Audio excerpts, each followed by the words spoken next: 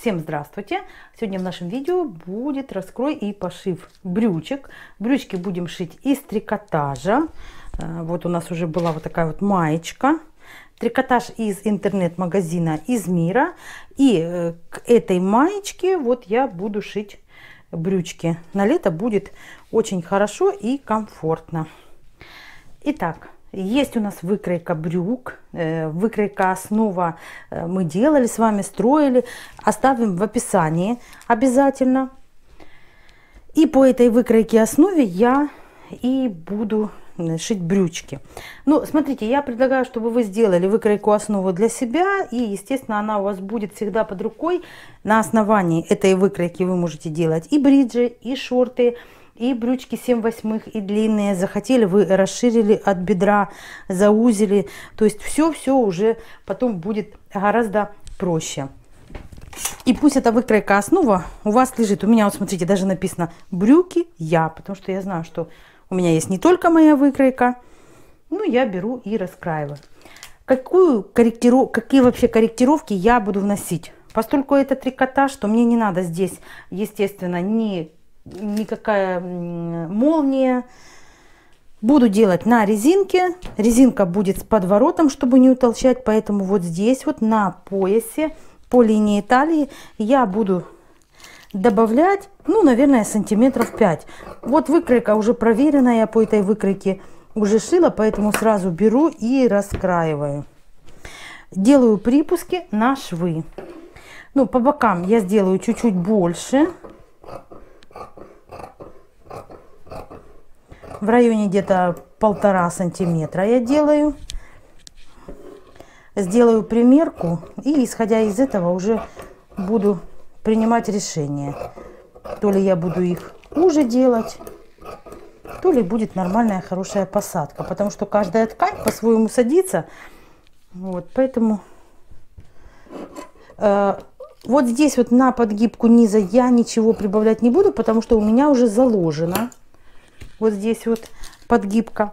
Если у вас выкройка не заложена подгибка, то, естественно, на подгибку низа мы прибавляем ну, где-то сантиметра 3.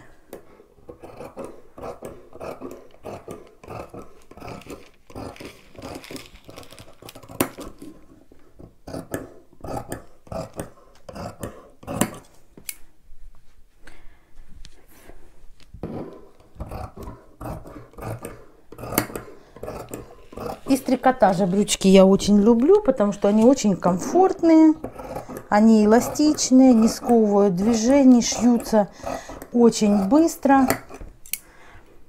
Вот уже передняя часть и выкроена. Теперь будем кроить заднюю половинку. Ткань передвигаю. Так, чтобы было видно вам. Раскладка, видите, у меня как идет. С этой стороны верхняя часть по задней половинке, передняя половинка в другую сторону. То есть вот я наоборот положила их. Соблюдаем долевое направление, чтобы вот пряменько лежали. Вот у меня такие хорошие грузики. И я сразу с грузиками уже работаю. Здесь ткань буду придерживать.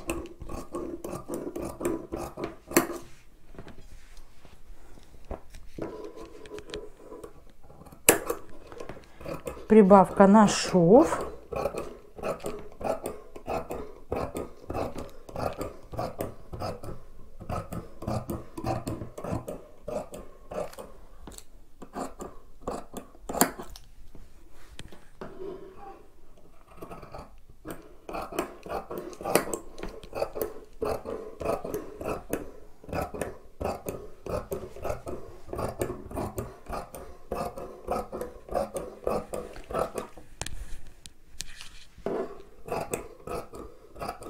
и прибавляю на резиночку. То есть это будет подгиб и будет резинка. Так, сейчас придвину чуть-чуть ближе, прошу прощения, чтобы было удобно вырезать.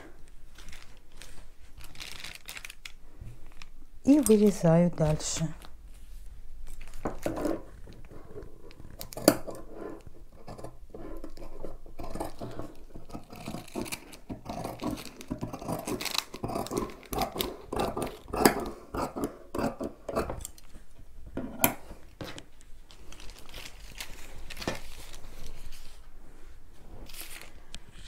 Все, теперь начинаем работать. И сейчас я уже с этой выкройкой знакома. Поэтому я сразу сейчас, ну, все-таки сметаю, померяю. А затем буду стачать по отдельности, складывая заднюю и переднюю половинку вместе. То есть вот я беру одну заднюю половинку, на нее накладываю переднюю половинку и буду сшивать на оверлоке, ну, после примерки, конечно, боковые срезы. Ну, вот здесь вот такие брючка, брючки мы можем с вами, э, допустим, и лампасы пустить поверху. Ну, поскольку у меня такая майка, я не знаю, с лампасами, наверное, мне не подойдет, потому что там уже есть какие-то свои особенности. Поэтому брючки будут такие более спокойные и сдержанные. Вот идет боковой срез, лицом к лицу складываем. Я сейчас не спеша вам буду показывать. И вот так вот проходим. Если есть какие-то неровности, вот я равняю срезы, Теперь прохожу линию шага. Вот это у нас низ изделия. Ну, здесь мне удобно, я вот снизу вверх начинаю. Обязательно смотрим, чтобы срезы были вместе.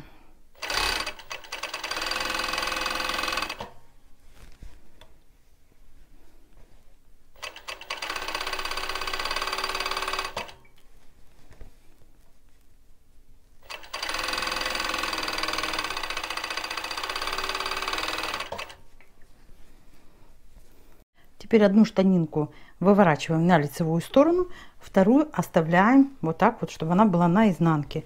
И вкладываем одну штанинку в другую. И равняем. Вот линия шага, находим ее. Вот так вот сейчас я разложу.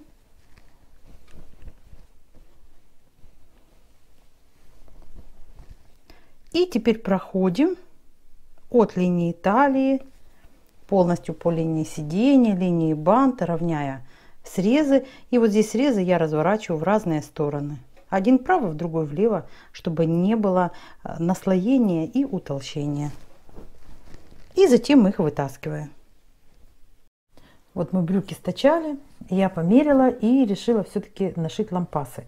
И по боковому срезу там, где идет боковая линия, вот смотрите, я прям рядом-рядом э, со швом, вот видите, идет шов, сделала лампасы.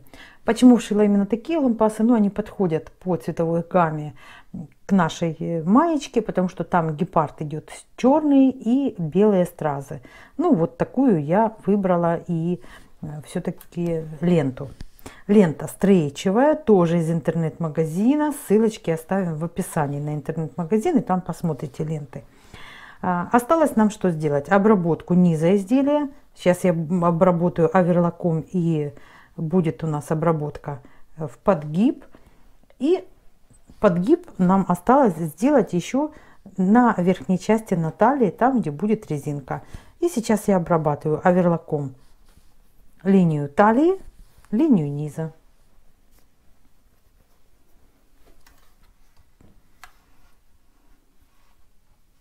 У меня верлок четырехниточный, я одну ниточку убираю.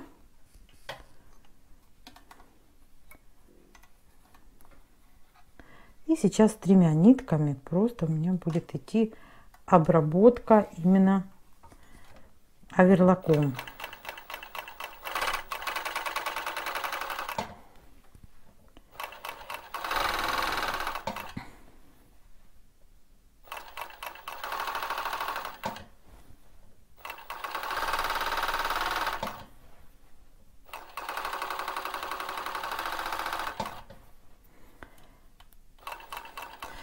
Я когда зашила швы, то мне, конечно же, необходимо было удалить шов из оверлока. Для кого, э, может быть, это проблема, то у нас есть видео, как распороть шов оверлока. И это не составляет никакой проблемы, если знать, как правильно, какие нити, с чего начинать и как продолжать. Вот уже брючки и готовы. Я пришила полностью. Обработала низ изделия в подгиб. И здесь у меня резинка. По резинке я ее зафиксировала. Зафиксировала именно вот здесь вот в швах. Вот здесь вот сверху вот так вот я проложила строчку, и оно у меня вот здесь вот вошло именно в шов. Для чего я это делаю? Для того, чтобы резинка, во-первых, не заворачивалась. Я знаю, что вы, возможно, сталкивались, когда резинка заворачивается, переворачивается там несколько раз. А так я ее зафиксировала точечно, полностью по всем, по всем швам. То есть вот здесь вот у меня шов внутри, на задней половинке. То есть кругом я ее зафиксировала. На этом все. Всем удачи, всем пока.